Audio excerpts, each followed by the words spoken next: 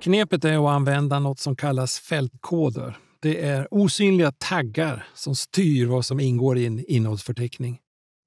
Vi börjar med att formatera tabellrubriken och i det här exemplet så väljer jag rubrikformat 2. Placera den blinkande markören precis framför rubriken. Gå till fliken Infoga. Därefter Snabbdelar. Och välj Fält. Scrolla ner och välj alternativet TC.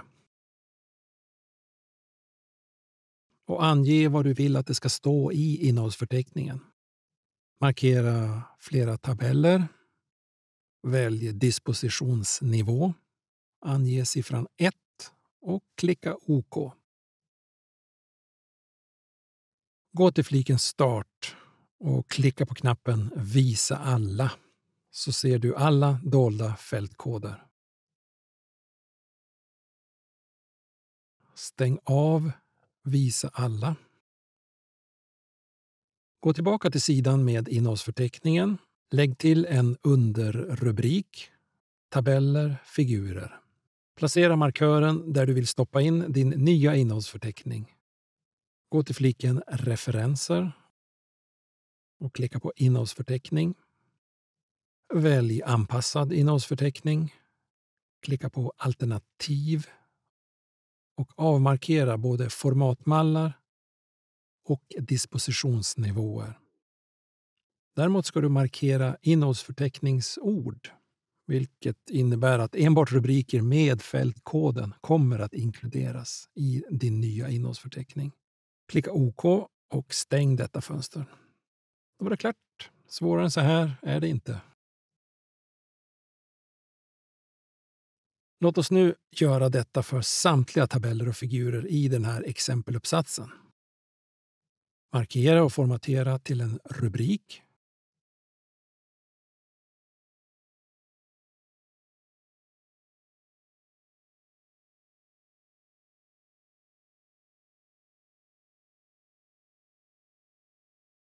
Placera markören framför den.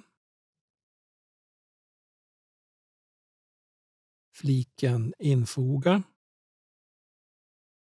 Snabbdelar. Och fält. Scrolla ner. Välj TC och skriv det som ska synas i innehållsförteckningen. Markera flera tabeller Välj dispositionsnivå, ange siffran 1 och klicka OK. Jag går igenom hela uppsatsen nu och fixar till det här.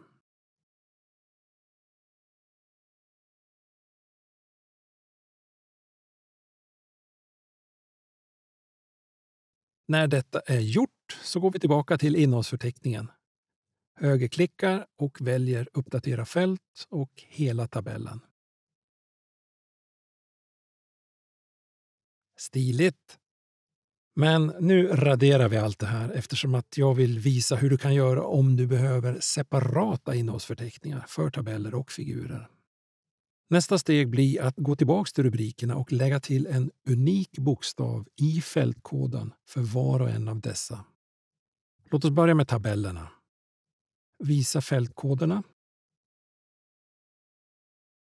Efter en punkt Skriv bokstaven X och gör ett mellanslag.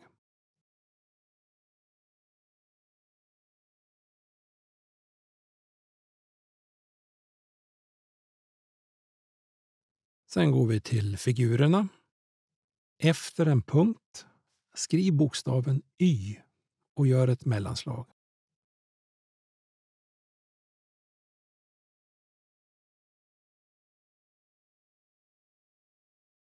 Och sen tillbaka till sidan med innehållsförteckningen.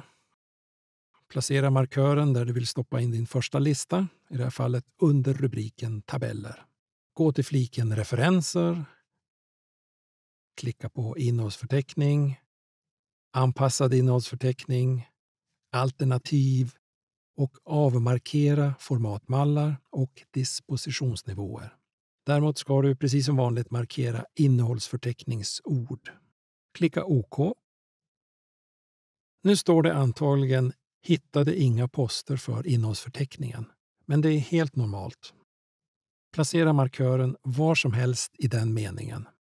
Håll inne tangenten Shift och tryck samtidigt på F9-tangenten.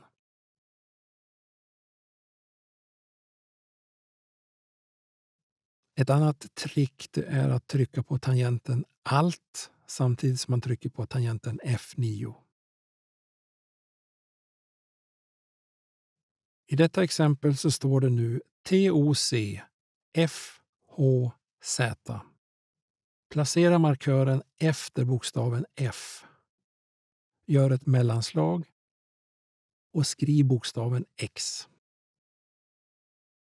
Högerklicka därefter på den här koden och uppdatera fältet. Placera markören under nästa rubrik, Figurer. Gå till fliken Referenser och klicka på Innehållsförteckning. Välj Anpassad innehållsförteckning. Klicka Alternativ och avmarkera formatmallar och dispositionsnivåer. Markera innehållsförteckningsord. Klicka OK och stäng fönstret. Placera markören i meningen “Hittade inga poster för innehållsförteckningen”. Håll inne Shift-tangenten och tryck på F9-tangenten.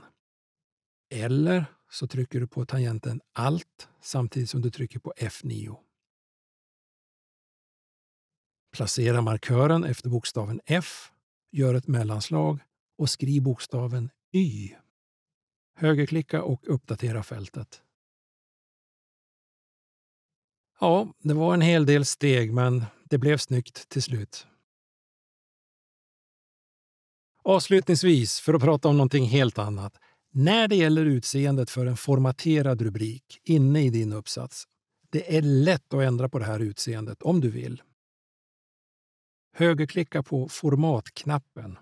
I det här exemplet så väljer jag rubriknivå 1. Välj alternativet Ändra och gör de ändringar som du önskar. Då kommer alla formaterade rubriker på den här nivån att uppdateras. Det här funkar på alla rubriknivåer.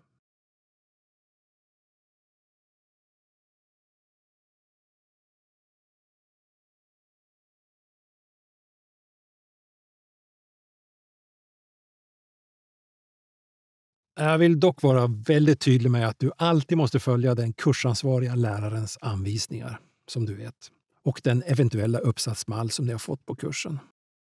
Lycka till nu med din uppsats